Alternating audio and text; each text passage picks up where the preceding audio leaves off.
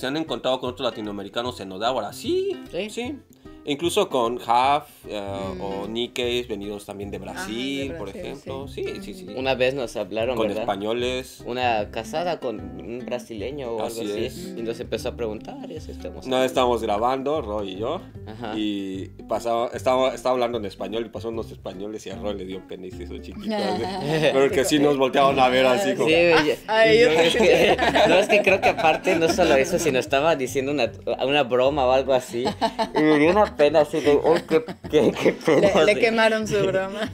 Porque sí se voltearon y se empezaron a reír y así. O sea, yo creo que sí le dio Sí risa, pero me dio una pena así. Eh, la diferencia cuando es a través de una cámara y- en vivo, ¿no? Sí, ya que me imagino estar diciéndole a todos ustedes así un...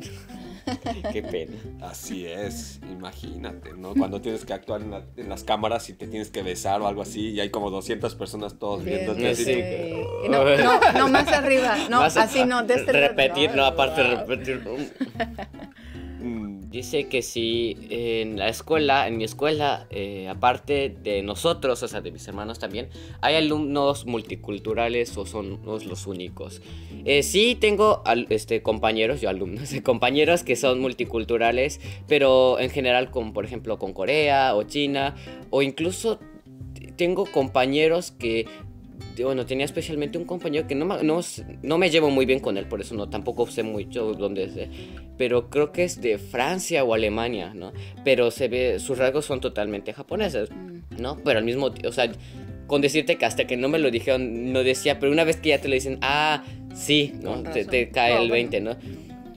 Bueno, y también Yokohama, quizás no recuerdes, pero tenía, por ejemplo, Ey, bueno, un Yokohama, compañero sí. que era half también. Era, el papá era hijo De hijo de de española español y, y japonés y su hijo pues era Quarter. ja- sí, también ah. español-japonés, ¿no? Ujú. Y tenía una compañera que era de Senegal. ¿Era? Eh, que sí. Era de Senegal. sí. Senegal, sí, yo creo. casi digo su nombre, mejor no decir Ah, nombre, no, pero era del Congo. Era el Congo. Ah, el Congo. Alguien más era de Senegal, pero no. Mm. Eh, luego estaba también, obviamente, como decía, China, Corea, pero recuerdo que había un señor que era de Perú. Y Mm. tenía su hijo, pero era también Nikkei, entonces, digamos, Ah, pasaba Eh. desapercibido, digámoslo así, ¿no? Pero era de Perú. O sea, sí, sí hay. Sí, en general, sí.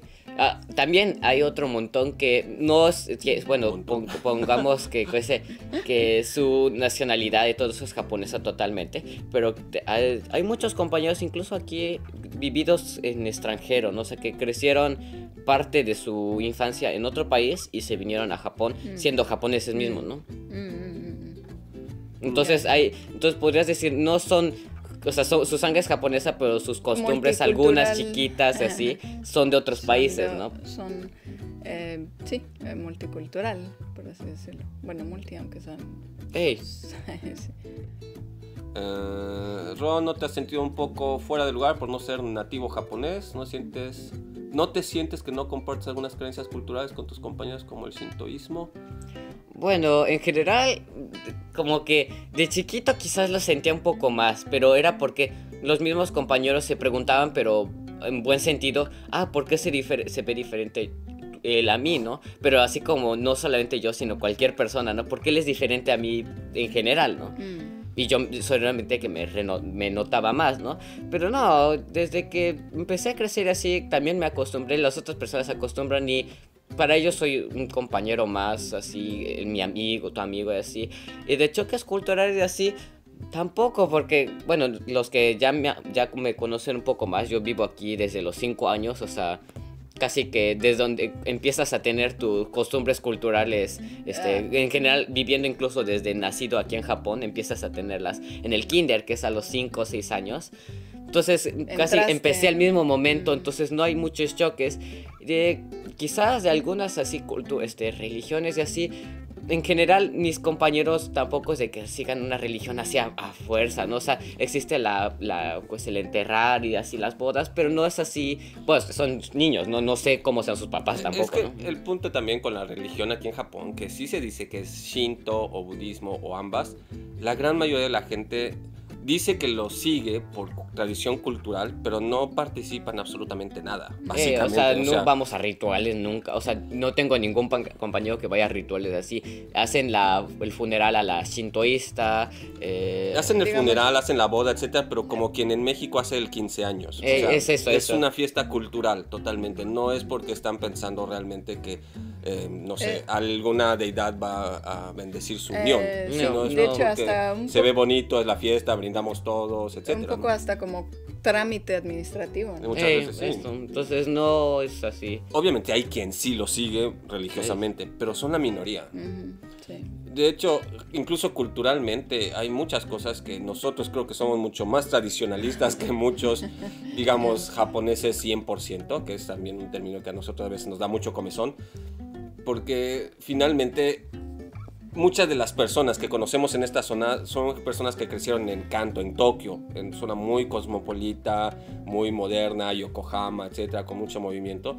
Y mucho de lo que nosotros recibimos finalmente de Japón a través de mi mamá, pues viene de un pueblo en Gifu, que es muchísimo más tradicionalista, más antiguo, menos movimiento cosmopolita, etcétera. Entonces yo tengo un compañero que nació en Yokohama, sus papás eran de Yokohama, etcétera, y él es mucho más joven que yo.